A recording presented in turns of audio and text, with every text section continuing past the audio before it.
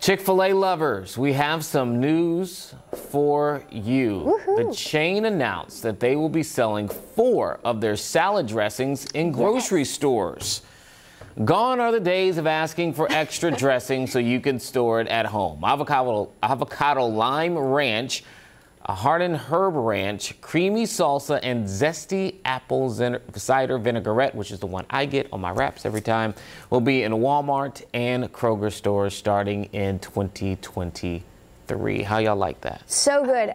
Yeah, but I wouldn't say you don't have to stop stashing them. You can still stash them. Yeah. You know, you don't have to just. Does that include the actual sauce? What is it, the Chick fil A sauce? No. You can get the Chick fil A sauce in the things now. I actually have the Chick fil A sauce in my refrigerator do as we speak. A full, yeah.